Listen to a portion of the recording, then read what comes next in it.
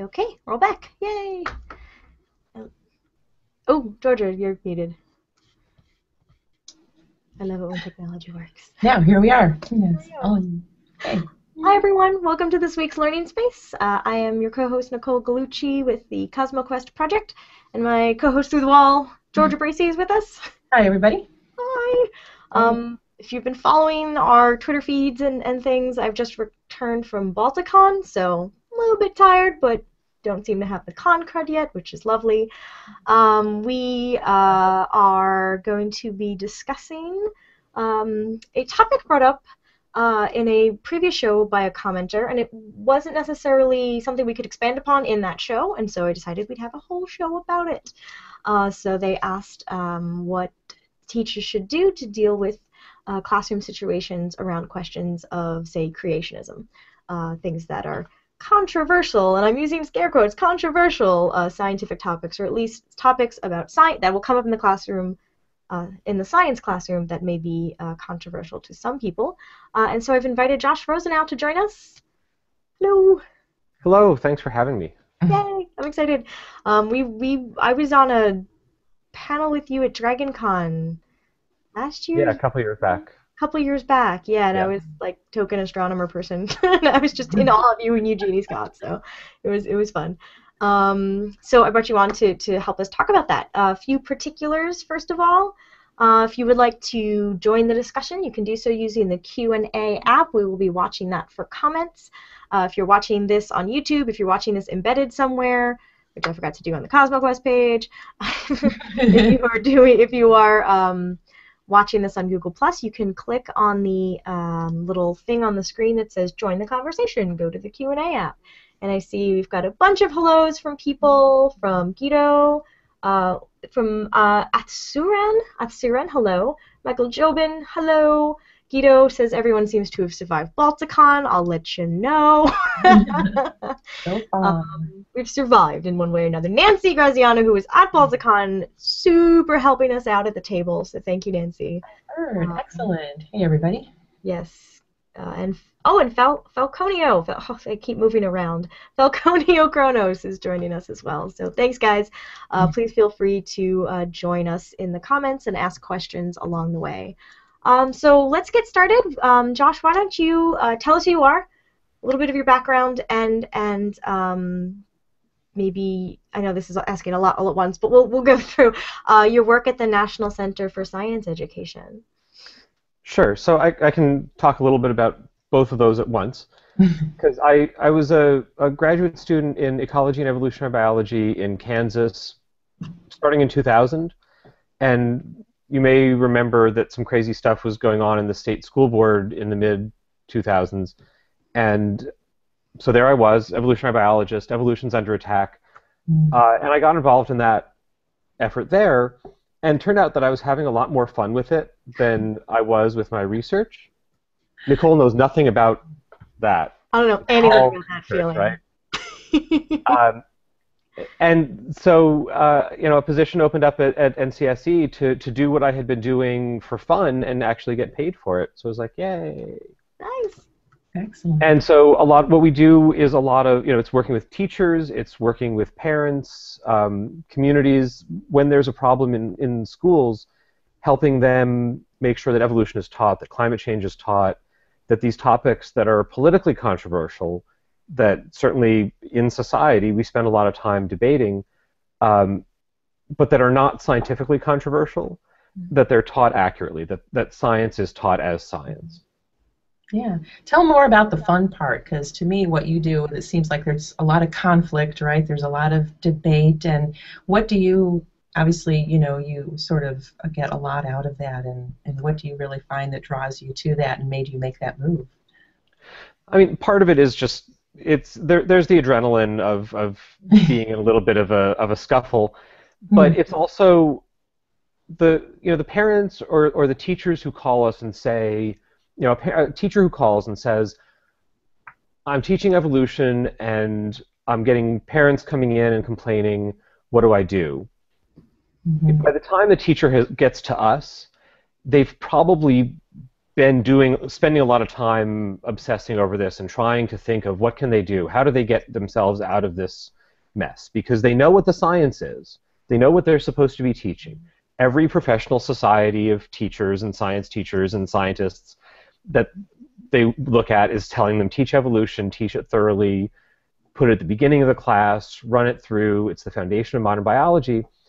And but they live in a community where that's not how people see it so by the time they get to us, they're they're often really feeling down and really feeling like they don't know what they're supposed to do, but they do.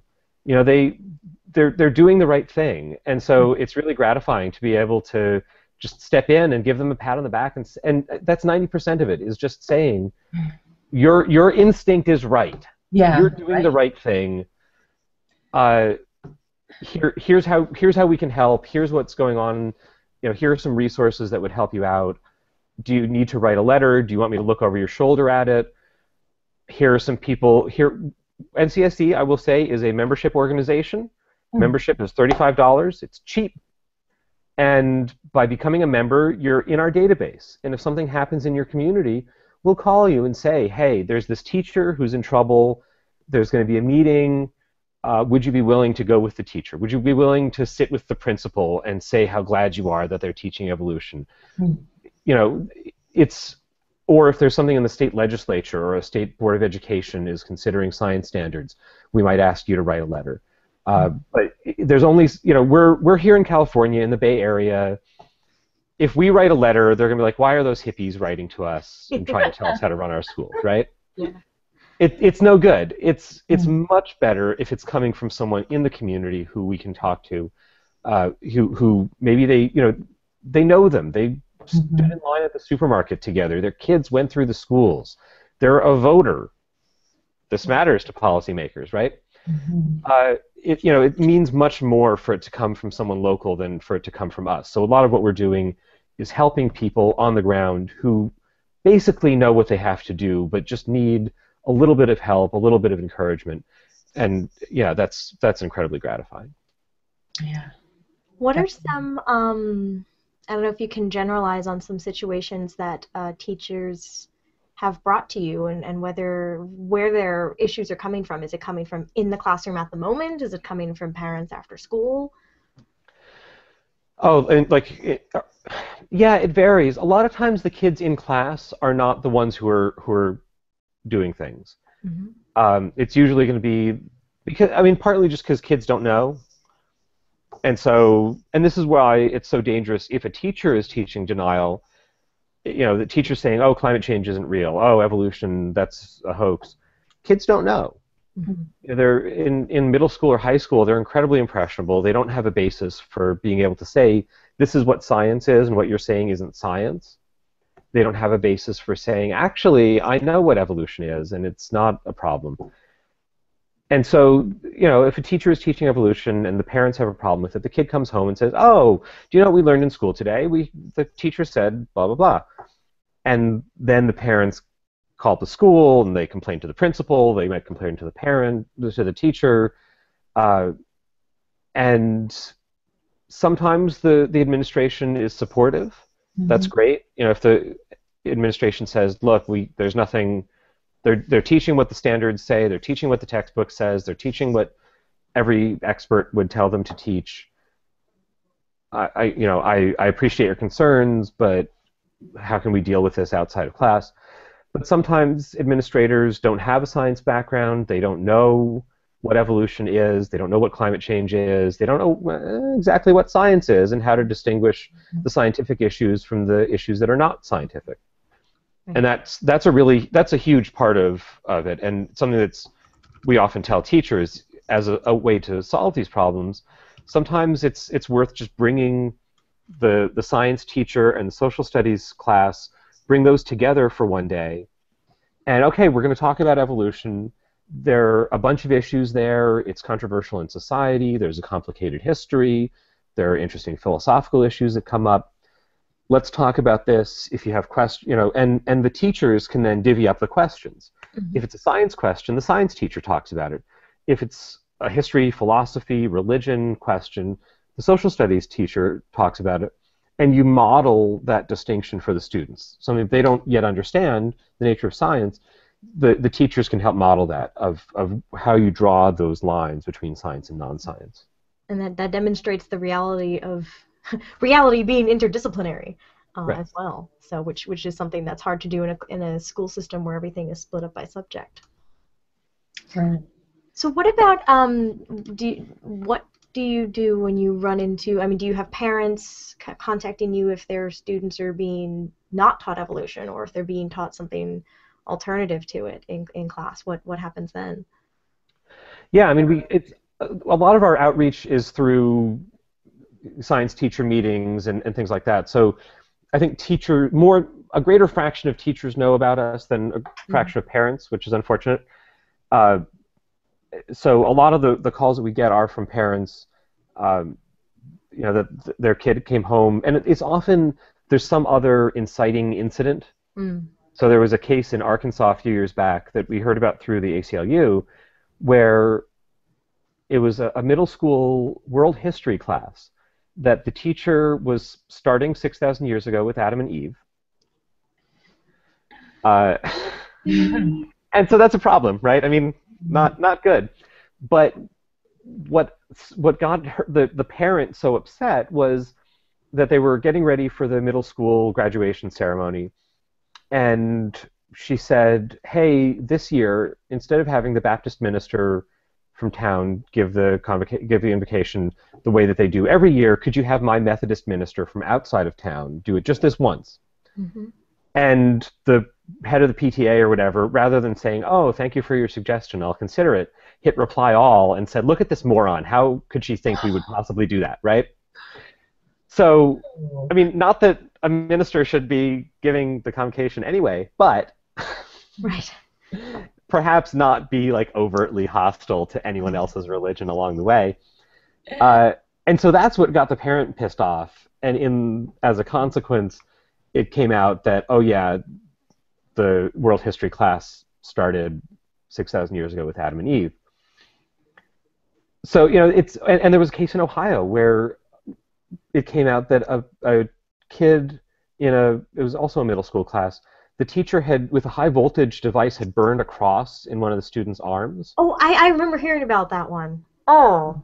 Yeah i mean and awful. and that's a case where it was that became public in the spring. The incident had happened i think in december. Mm-hmm. and the the father was an insurance salesman in town and had made some complaints to the school district but it wasn't until he finally filed a lawsuit uh, which meant that basically his insurance business had to shut down. No one would do business with him anymore because he filed this lawsuit. In the course of things, it turned out that the teacher had been teaching creationism. He had a stack of Bibles in the classroom, all sorts of other stuff that was really problematic. Uh, but the fear of that retaliation, uh, of what happened, of, of the, the ostracism by the community, made him not want to come forward for as long as they did. To, to, you know, so the, the natural response, if someone burns a cross in your kid's arm, right, is to grab a baseball bat and head down there and have some yep. conversations. but but they but you know it's it's hard and so when when when people that's why I say when people come to us um, they've usually they've been doing a lot of research on it they've been thinking about it a lot and and they really just need someone to hold their hand and say that they're doing the right thing and talk to them about a way to resolve these issues sure. that doesn't blow up like that. Mm-hmm. What yeah. would you suggest? I mean, many parents um, may not have a scientific background, but they want to ensure that their kids are getting a good scientific background. How uh, would you suggest they deal with a teacher who's not being entirely scientific in the classroom? Like, how do you help your, your kid, your student, um, learn and deal with that? I think part of it is is certainly meeting with the teacher, talking to them, just putting the concerns on the table. Mm-hmm. And even if you know, sometimes people don't know what's happening. I think it would be. I think every parent on back to school night at the beginning of the year or at parent teacher conferences should ask the science te- should say to the science teacher, I think evolution is really important. I think climate change is really important. I hope you're teaching it. Mm-hmm. Because I don't think teachers are hearing that. I think that they're they know that it's a politicized issue on the other side, that there's a lot of intensity from people who don't want these things taught. I think if every parent who wanted these things taught just said, I support you in teaching these things. Mm-hmm. I think that would make a huge difference. Uh, and, and if they know that something bad is happening, I think the first step should be a, a very polite, very honest, very open conversation with the teacher, because a lot of times the teacher it's not malice. It's not a deep dark conspiracy. The teacher just got some bad information someplace. Mm-hmm. Um, maybe thinks that this is what they have to do to avoid having people harass them. Yeah.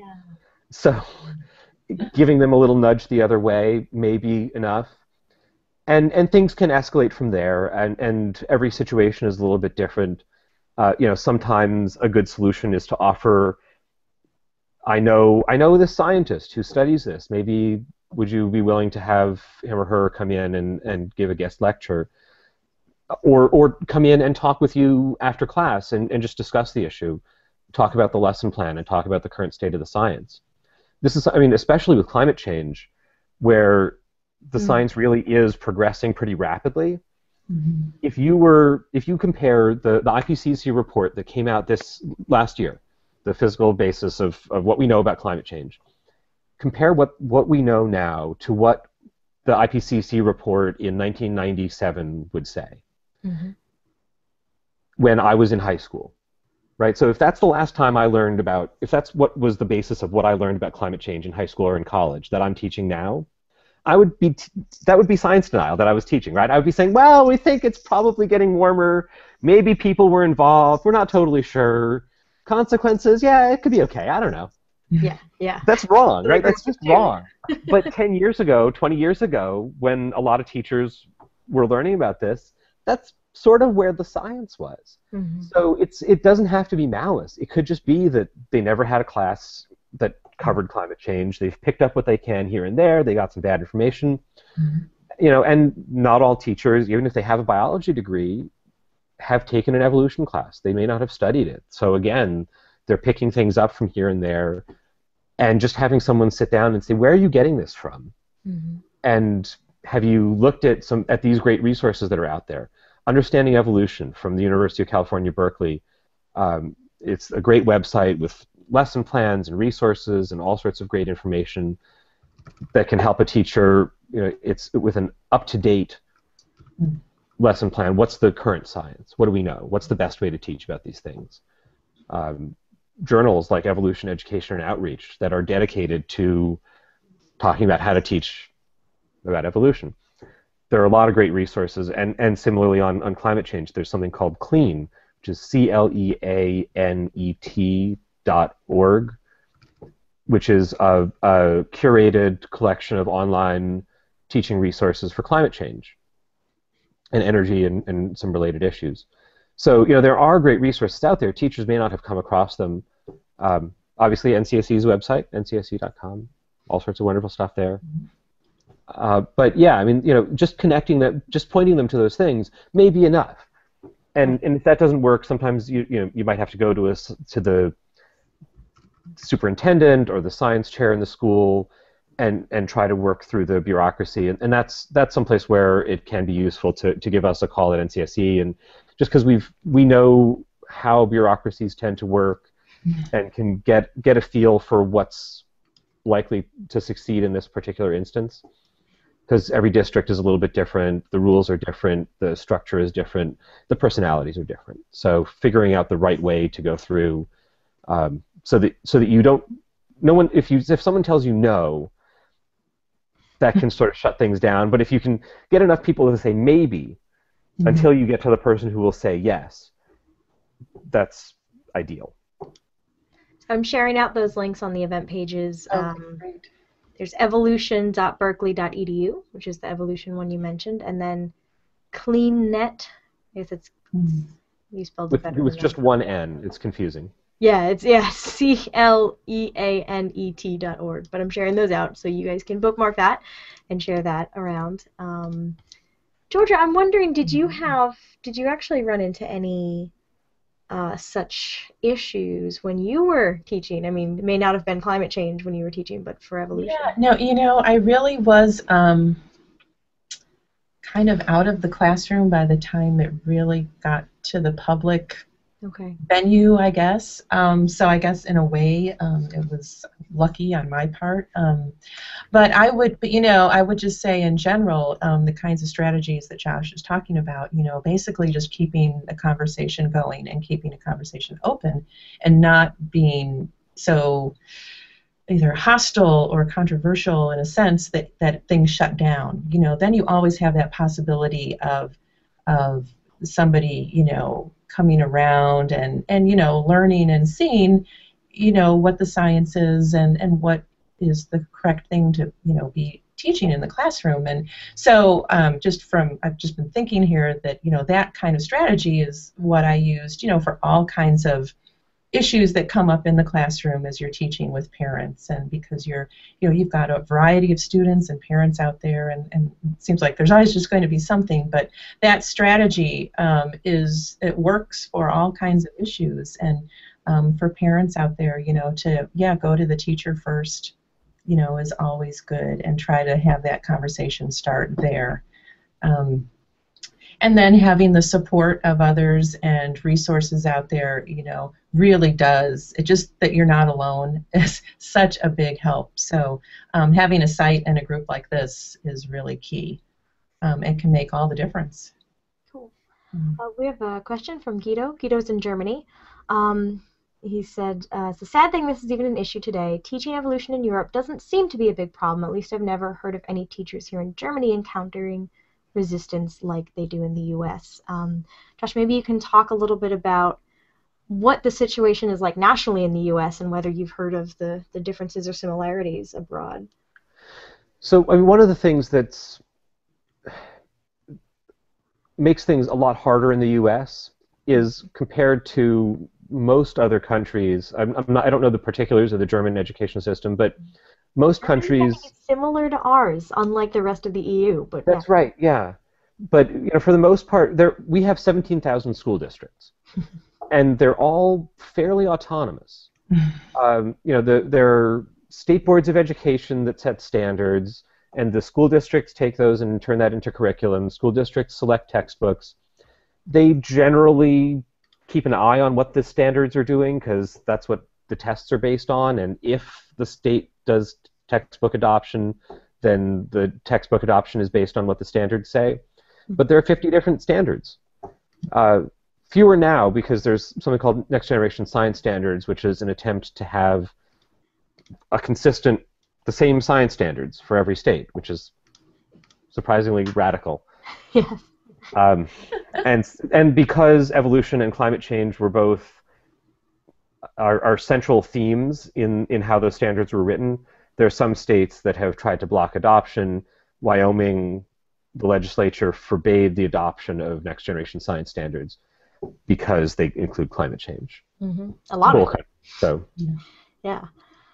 Um, so in a lot of the world, it's it's a national curriculum more or less.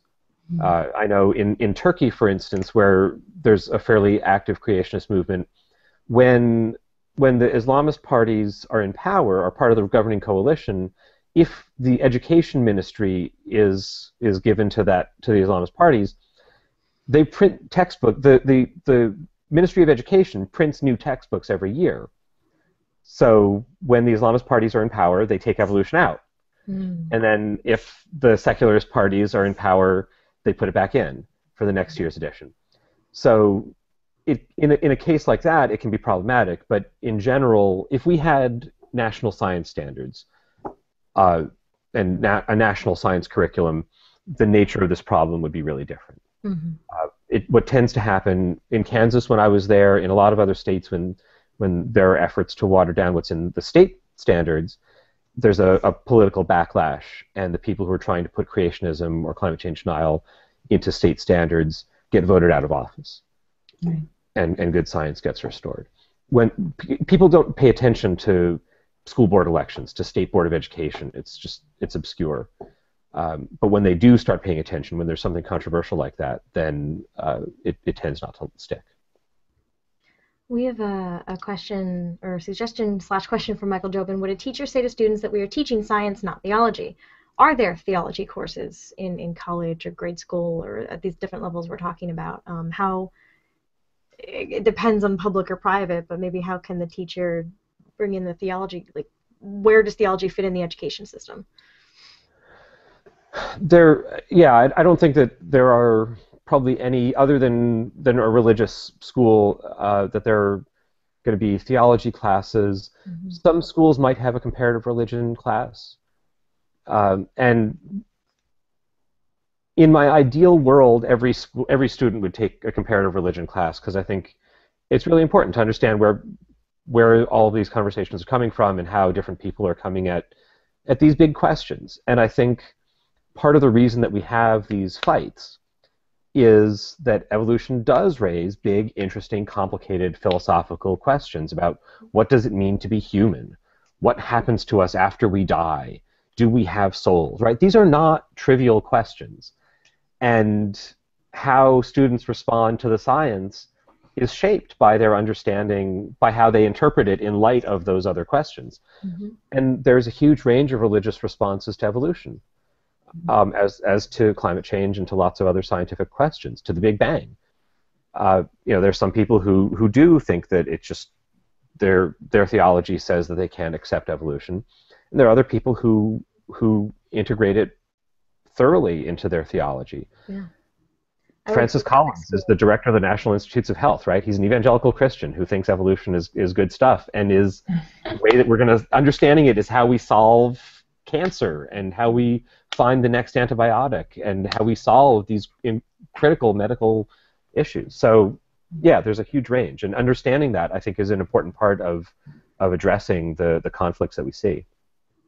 Yeah, I went to a Catholic school for from kindergarten through the end of high school, and I got a really strong science background. Like evolution yeah. was not an issue. We taught it. We talked about it.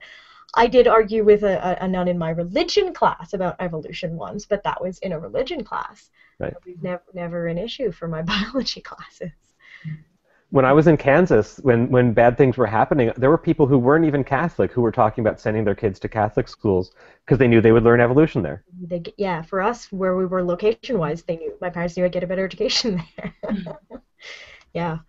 Oh, yeah. Um, let's see what else did what else uh, I'm, I'm, the, the comments keep moving around in the q&a app so one from nancy thank you i get confused is that okay so this is from nancy graciano um, what are your feelings about those states where legislation is either proposed or already passed which mandates teaching creationism disguised as intelligent design? So i that's something you hear a lot about too and maybe you could talk about how that kind of plays a role intelligent design. Yeah.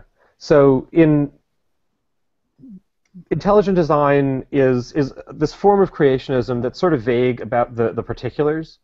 If you look at if you go to like Ken Ham's Creationism Museum, where he's got the ark and the whole thing, he's really specific about when everything was created and how and who did it. And six days, six thousand years ago, there was a global flood.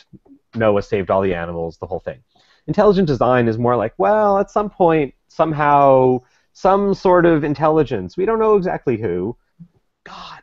I'm not uh, saying it was aliens. Right. It, it, could be aliens. It could be fallen angels. It could be time travelers genetically engineering the past. It could be anything. We don't know. So yeah, it's it's meant meant to get around right. the this long history of court rulings that say you can't teach creationism. Mm-hmm. And in 2005, there was a, a court case where a, a federal judge looked at it and said, yeah, this is the same old creationism, the same rulings apply. And since then, since 2005, and actually a little, starting a little bit before that, we've seen a different strategy. So there, well, I was going to say that we haven't really seen laws require that would re- require creationism, but in the last couple years, there have actually been a few weird bills filed. But the big thing that we're seeing are what people refer to as academic freedom acts. Mm-hmm mm-hmm. which sounds really great, right? It sounds, how could you be against academic freedom? Who doesn't love freedom? Mm-hmm. But what these are doing is trying to redefine academic freedom so that it would say, if you're a parent, if you're a student, or you're a teacher, you can't be punished for encouraging students to think critically about all these controversial topics like evolution and climate change. And often climate evolution, climate change, chemical origins of life, and human cloning are the four topics that are specifically mentioned. Mm-hmm. Um, human cloning not really being something that usually comes up in a high school science class. Didn't mind, but that's because Gattaca came out that year. There you go.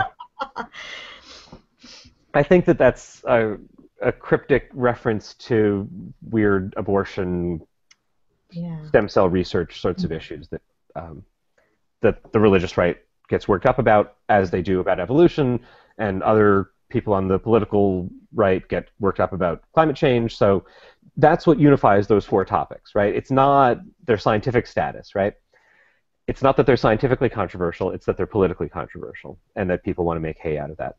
So laws like this passed in Louisiana and in Tennessee a couple years ago, and there have been, I, am not sure what the current count is, but 50 some odd, uh, almost 60 that have been filed in the last decade in, I think, 13 or 14 states, or maybe up to 15 even.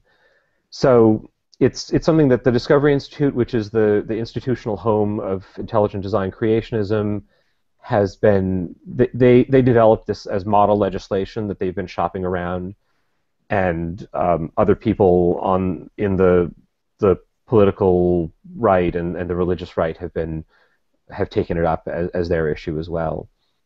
So and that's something that we we've worked with local activists a lot to try to get them to to fight back against those and it's something where it's it's hard because it sounds it's academic freedom. How can you be against that? How can you be against critical analysis? But the practical consequence is that it makes it that much harder for an administrator to say, you have to teach evolution. Right. It's in the standards, it's in the curriculum, it's in the textbook. You have to teach it. And for the, and the teacher can say, I don't want to teach it, or I'm going to teach both sides. You know, and and it's just a little bit harder. It's it's one more barrier for an administrator or a parent who wants to say this is not okay. Well, it was creationism first; they couldn't get that passed. It was intelligent design; they couldn't get that passed. So it feels like this was the next step in ways that they could.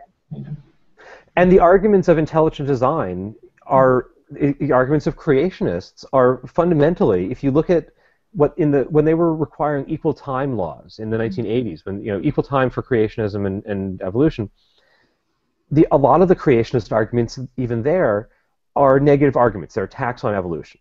Right. So the claim now is, oh, we just want to teach critical thinking by examining both sides of evolution. But the arguments that they want to present against evolution are the same old creationist objections. They just take out the and therefore God did it. Mm-hmm.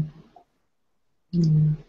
Um, we're getting some really great comments. I don't think I'm going to be able to get through all of them. Some of them is just discussion, and, and I, we appreciate all the discussion going on. Um, mentions of the flying spaghetti monster, of course, as, as if you're going to give equal time to. Uh, that's kind of how that joke started. Is if you're going to give equal time to creationism, you have to give equal time to my god, the flying spaghetti monster, um, which has become a very popular meme.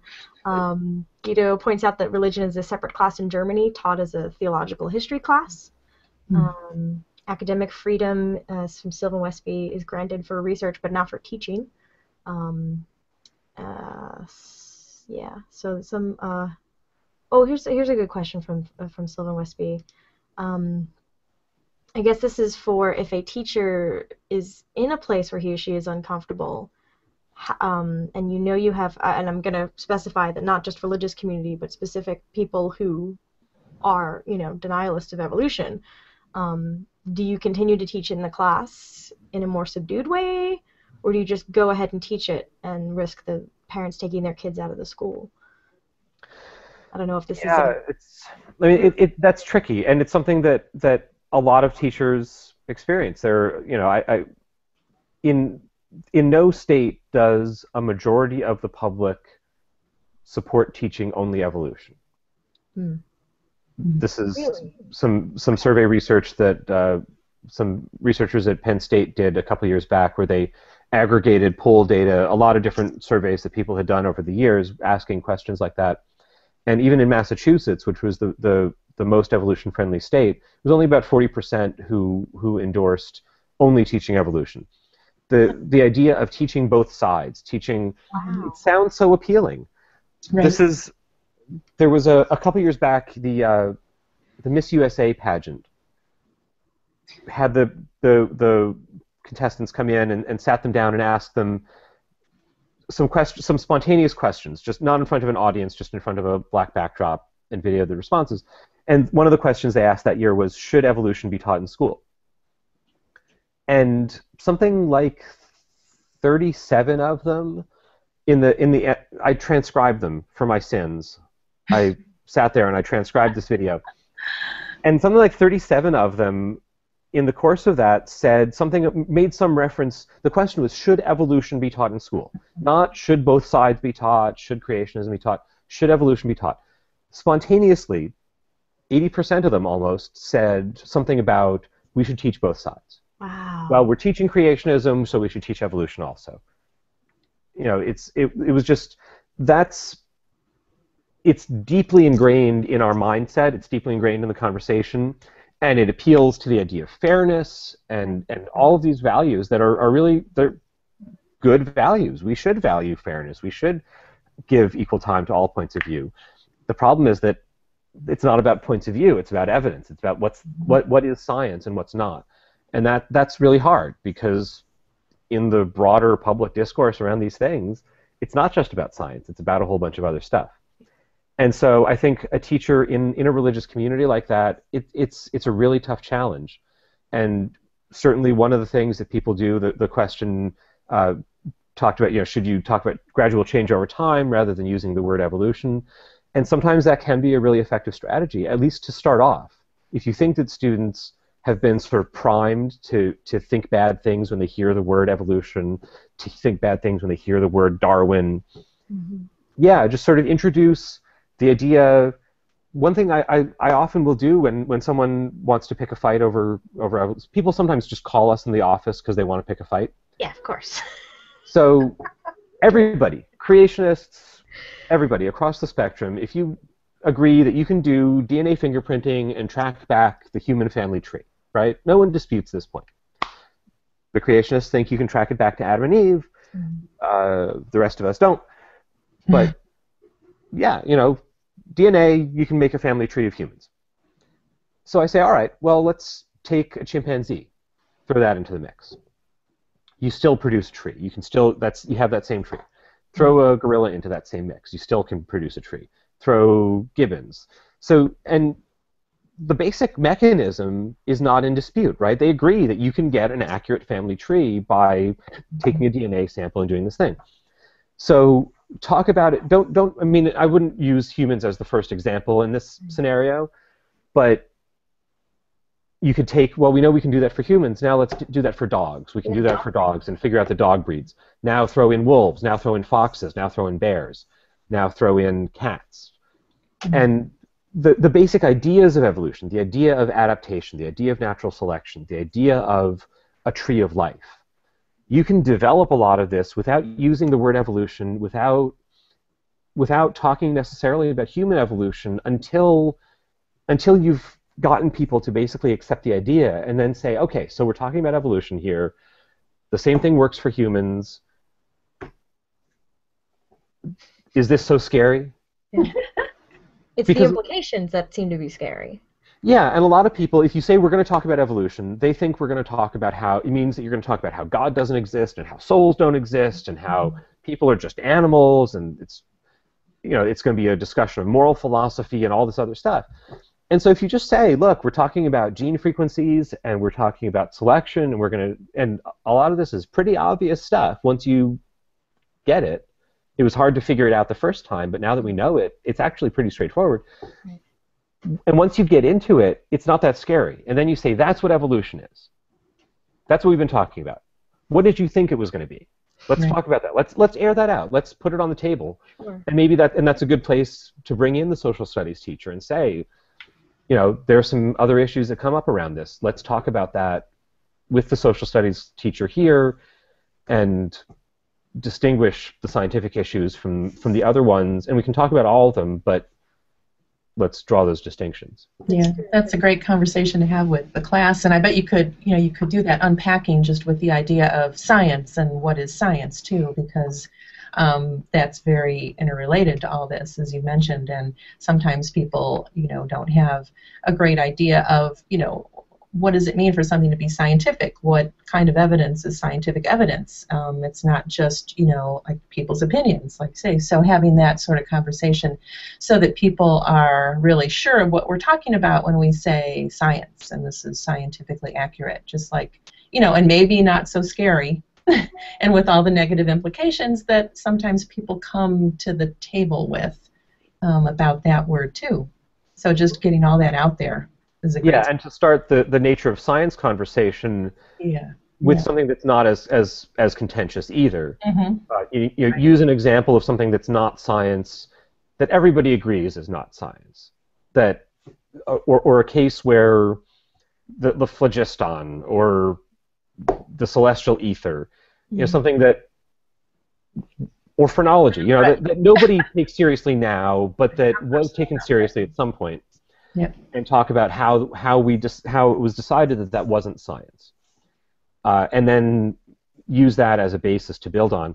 And the, the same people who produced the Understanding Evolution website also have a site called Understanding Science Hmm. that has a lot of great resources for talking about lesson plans uh, for different age levels, all the way down to elementary school, to to talk and, and up to general public, uh, you know, adult audiences, to talk about what science is and how science works, and how to move beyond the the sort of boring, trivial, and really wrong um, linear scientific method idea that first you do some research, then you form a hypothesis, then you make some predictions from the hypothesis, then you construct an experiment. The things we make the science fair kids do. Right. I mean, it's it's it's a fine framework, but it's not how scientists actually do what they do, and it's worth talking about how scientists do what they do, and that it's it is this human process, and that peer review is an important part of it, and that scientists are humans and they do stuff for stupid human reasons, and that that's mm-hmm. okay because science has ways to correct for that and to catch us when we're doing stuff for stupid human reasons rather than for smart human reasons mm-hmm. and that it's it's a collective enterprise. You know, to talk about all those different parts of it and, and how that leads us to be really confident that evolution happened and is happening.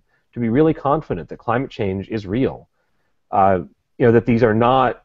It's easy to think of science as a collection of facts, as an encyclopedia, just a bunch of knowledge, and you can say, well, I've I, you've got a whole bunch of books that say evolution is true. I've got a book that says evolution isn't true take that, scientists. And so, understanding where that comes from, how do we know wh- where where understanding the process that it's not just a bunch of facts, but that those facts had to go through this process, that they were vetted by a lot of different people whose first incentive was to try to knock down the established knowledge. Right. That that's a really valuable part of the process, and, and that's why scientific knowledge is so important and is such a, an important way of, of doing things. And it's something that it comes naturally. We all do it for all sorts of things. If the car doesn't start in the morning, you do an experiment, right? That's how you figure out what's broken so that you can get it started again. Yeah, I think I think that's good um, on both sides to separate the, the science, the scientific facts from the potential implications, interdisciplinary philosophical implications. Because I personally have seen it on both sides as well. I see religious people and non-religious people doing that uh, in their arguments, probably mostly in the heated online arguments that are never, well, not never, but usually not a good idea. And it's really good to pull out here's here are the facts. Um, let's not go overboard. Um, and and with climate change, I feel like that must be a particularly tricky place to be because it's not, you know, whereas this creationism debate's been going on for the 20th century in, in, in pop culture or the popular uh, sphere, but we're really new to climate change, as you said it before in every sense. So what is how does that change your, your strategy in dealing with these issues with teachers and parents um, with regards to climate change? in some ways it's easier, and in some ways it's harder. You know, as we were saying before, the, the science is changing more rapidly. We're learning a lot more, and so it's harder for teachers to stay on top of, and it's easier for bad information to slip in. Um, it's it's new, so it's not in the standards often. It's often not in the textbooks, Right. and the teachers don't necessarily know whether they're supposed to be teaching it or or they all can sort of point their fingers at somebody else and say, oh, I'm the biology teacher, that's for earth science, and then nobody takes earth science classes. Mm. And it, there are really important physics and chemistry issues that come up around climate change, and it could make a really interesting practical way to talk about how you know, about a lot some interesting physical processes and chemical processes.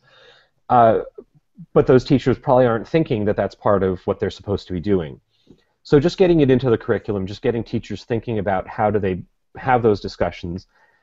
But the fact that it's new, part of the problem with evolution is that for 80 or 90 years now, people have been thinking that as part of their identity, if I'm going to be a good Christian, Mhm. I if I'm going to be the right sort of Christian, I can't accept evolution.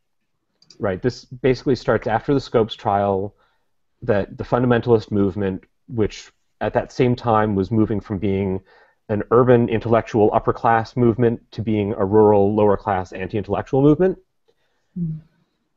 it becomes anti evolution. It, it Yeah. takes up William Jennings Bryan's mantle and, as a matter of, of identity, says we have to reject evolution. That's a really hard dynamic to break. Yeah. If you, if you think that you have, in order to be a good person, you have to reject this science, uh, which is more important, Yeah. right? being a good person, going to heaven, eternal life with your loved ones, or getting the science right. Yeah. It's not a contest. I mean, I wish it were, but it's not. And so that's deeply ingrained. This the idea that there are two sides, there's evolution and creationism, is is really built deeply into American politics at this point, and it's a hard dynamic to break. Climate change, we're not there yet, although I worry that we're it's getting close. You see in in the last election, a lot of the Republican candidates had at some point endorsed climate change policies, right? Newt Gingrich sat down on a couch with with Nancy Pelosi and did an ad for Al Gore's nonprofit to talk about how everybody agrees we should do something about climate change, Mm.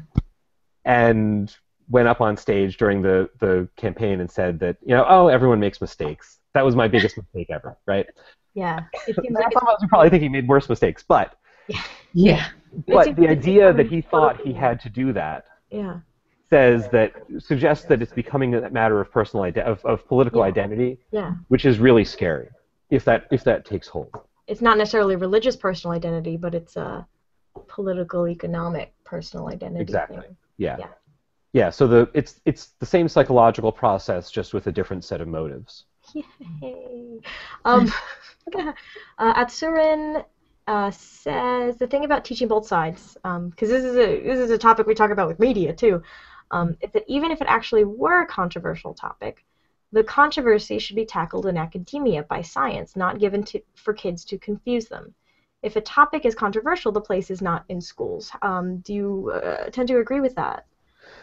To a degree, uh, you know, there there are I think there's a lot of research that shows, and and intuitively it makes sense that students respond well. They they engage more deeply with topics when there's a chance for them, when it's not just presented to them on a platter.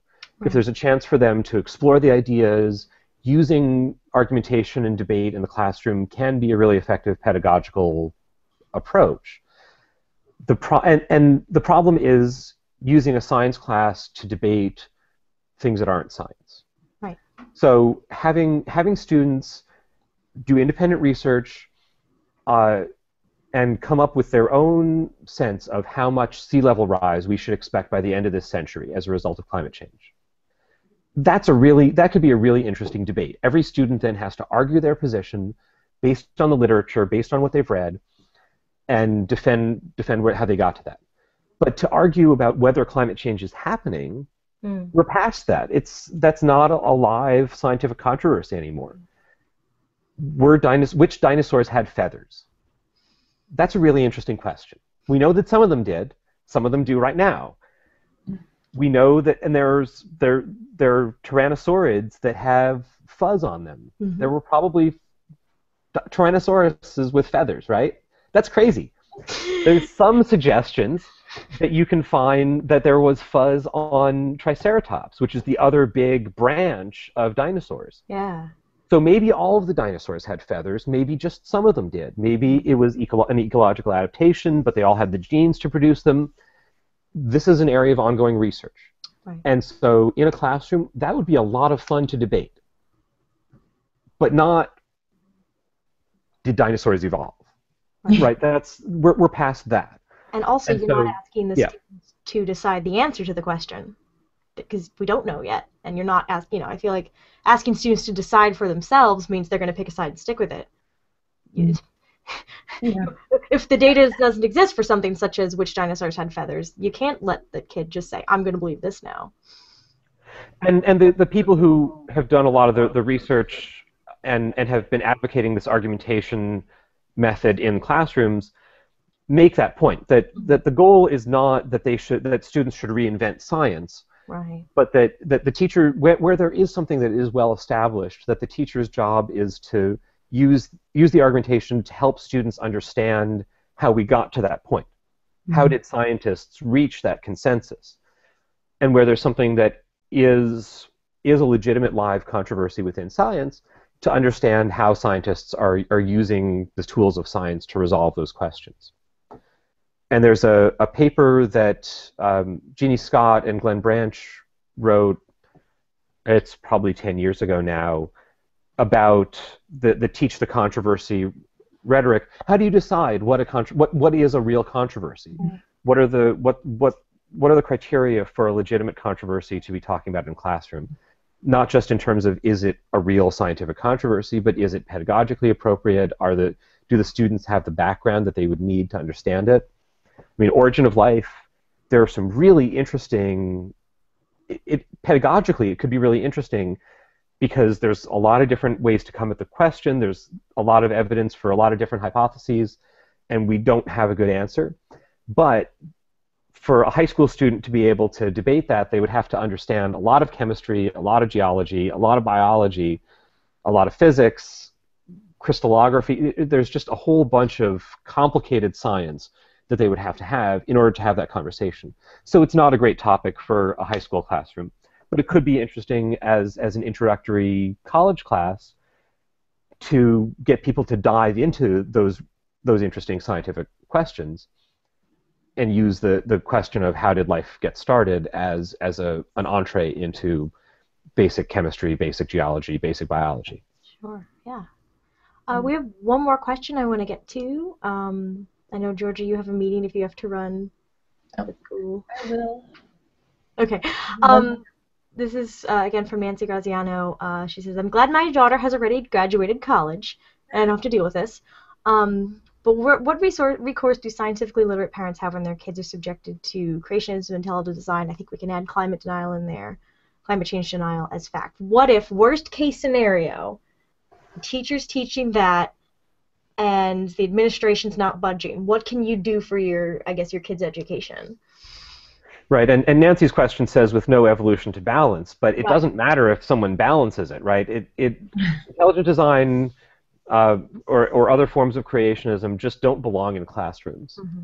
Uh, and I mean, it's it's a First Amendment violation, and it's teaching kids stuff that's not right. It's not science, and teaching stuff that something as science that's not science in a science classroom is not just misinforming kids about evolution, which is a really important topic.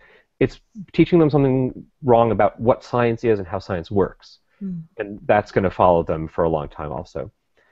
So, uh, you know, the the first thing that I would always say, step zero, is is contact us at NCSE because every situation is a little bit different.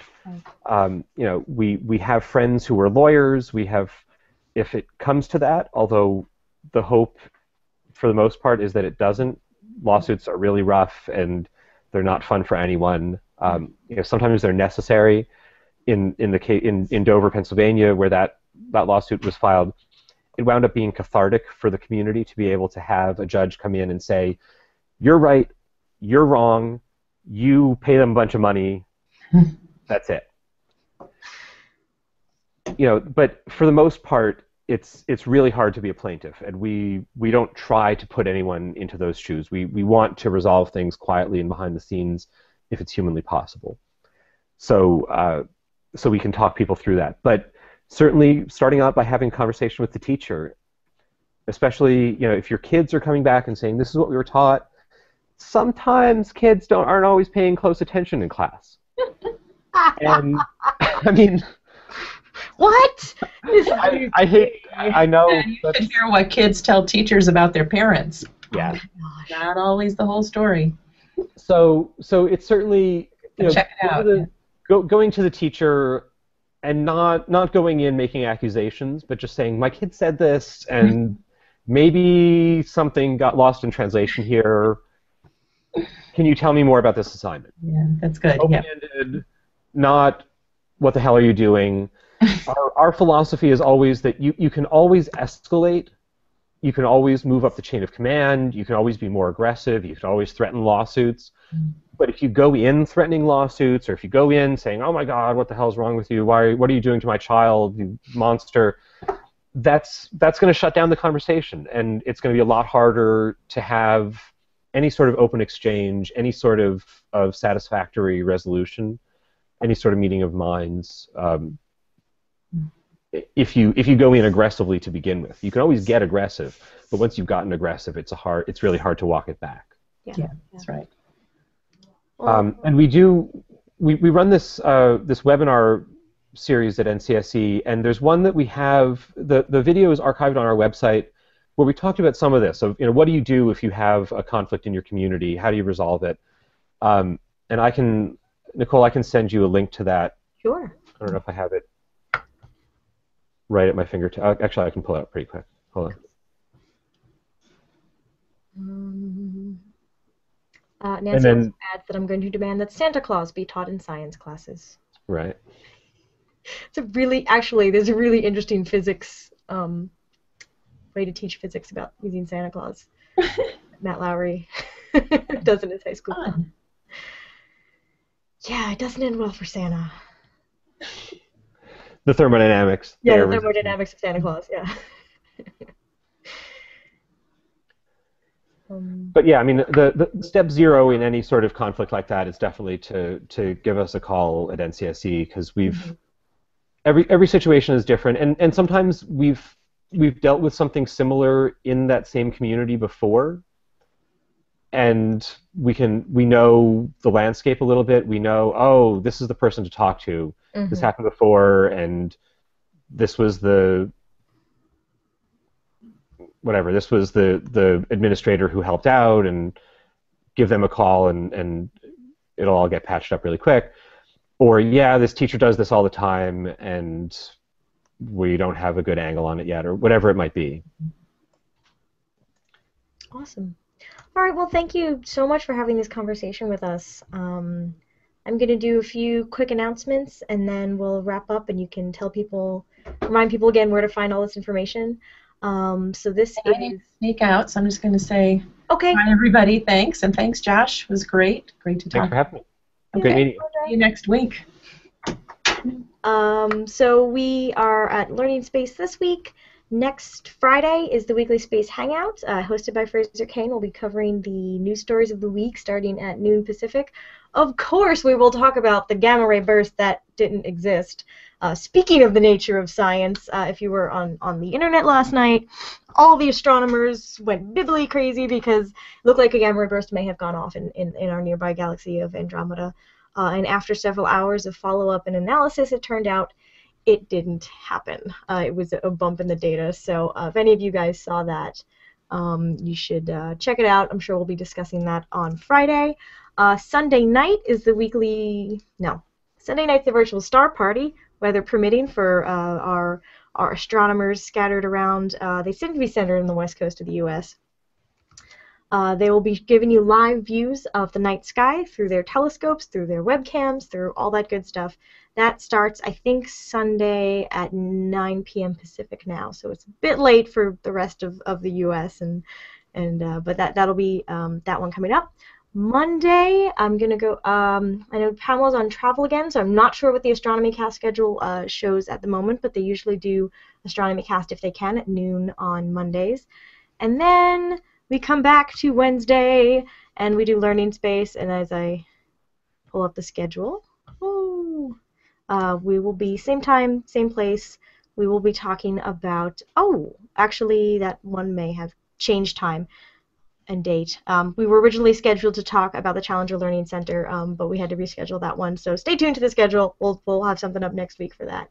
Uh, Josh just shared the link with me for um, how to respond to attacks on science education from the NCSE website. So definitely check out the, the NCSE website for a lot of these uh, resources. And Josh, do you want to have any parting words of advice or, or resources people could use? Um, you know, the NCSE's website has a lot of great resources on it, um, and I definitely would encourage people to check that out at ncse.com. I mentioned uh, understanding evolution and understanding science. Mm-hmm. We're we're in the process of working with UCMP to create an understanding global change website as well, which is going to be really exciting when it comes out. Um, I think next year okay. or late this year. So um, and if if people are looking for for good resources on debunking climate change denial or evolution, you know, creationist claims, talkorigins.org is awesome. Mm-hmm. There's uh, an index of creationist claims, so if someone comes at you with something weird, you can always go there. And uh, skepticalscience.com oh yeah does does the same thing for climate change, and it's really great. And I'm going to have in in an hour, I'm going to be doing a webinar with John Cook from Skeptical Science and Shauna Theel from Media Matters for America. We're going to be talking about how to debunk and respond to science denial. So there's still time to register. Where can people register? Is it on the site? Uh, yeah, if you go to our website, you should be able to find a link somewhere. Okay, cool. Yes, so thank you, thank you for joining us, even though you were already all kinds of scheduled today. no, I'm in, I'm in webinar mode. Clearly. Webinar mode. Okay. awesome. Well, thank you so much, everybody, for the great discussion, the great questions. Um, this is, of course, a really interesting and nuanced and important topic. So um, thank you again, Josh, for, for joining us and having this discussion with us. Yeah, thanks for having me, and thanks thanks everyone for the great questions and discussion. Thank you. We'll see you guys next week. Bye.